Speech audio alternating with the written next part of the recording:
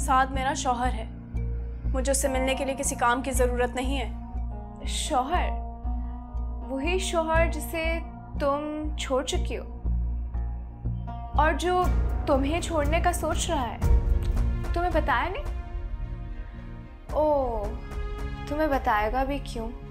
अब तुम्हारी इतनी अहमियत नहीं रही ना? For your kind information he has moved on और हम बहुत जल्द शादी कर रहे हैं। Hey guys, I'm Sambul Iqbal और सब्सक्राइब करें एआई डिजिटल का यूट्यूब चैनल अपना फेवरेट ड्रामा देखने के लिए।